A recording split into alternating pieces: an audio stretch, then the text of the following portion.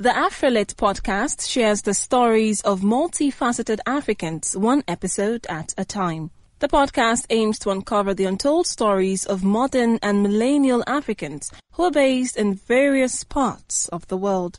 Each episode gives listeners an opportunity to learn and experience conversations that showcase who they are and their global perspectives in our ever-changing world. Be sure to listen and subscribe to the Afrolit podcast on Spotify or wherever you listen to your favorite podcast. You can also follow at Afrolit Podcast on all social media platforms. You're listening to the news of this hour on Africa Business Radio.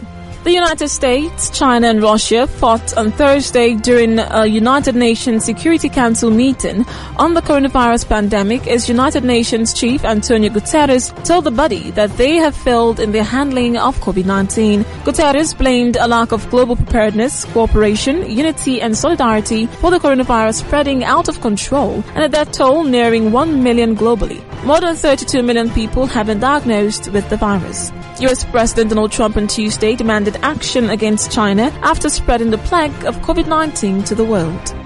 And that was the news at this time on Africa Business Radio.